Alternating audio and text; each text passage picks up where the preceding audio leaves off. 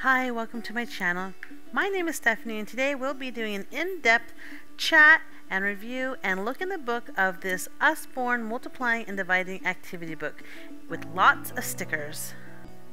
So the reason we got this is because I'm a homeschool mom to a third grader who is learning multiplication and division and we were using Horizon math book but it just didn't have instructions or extra help that we needed to continue furthering our learning in those subjects. So we got this uh, activity book to help us memorize our multiplication facts in a fun, colorful way and a more illustrated and guided way of learning division because our book just wasn't doing it for us so we switched to Envision math book with the help of this multiplication book and boy it's made a world of difference for my third grader. It really helps and he absolutely loves taking out this book and doing it. It's more of a fun activity versus like homework. So in that regard it has completely helped us and changed the game of how we look at math.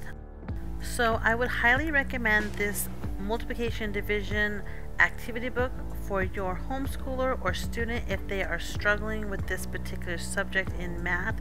It is fun, it is colorful and vibrant, and it has tons of stickers in the back and the answers are also in the back of the book so if you are not confident in your math skills be rest assured that in the back there are all the answers and explanations and along with the stickers it tells you the page number and the activity so you will not be confused or unsure what to do or how to execute a problem in this book. Everything is taken care of at the back of the book.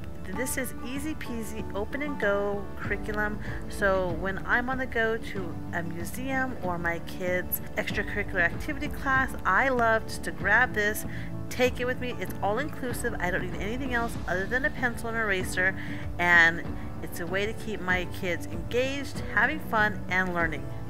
And depending where you buy this activity book, it ranges anywhere between 5 to $15 online and it sells at a variety of places from eBay to Amazon and it is worth the investment. So if you have a struggling math student, this is a must-have in my book and worked well in our homeschool.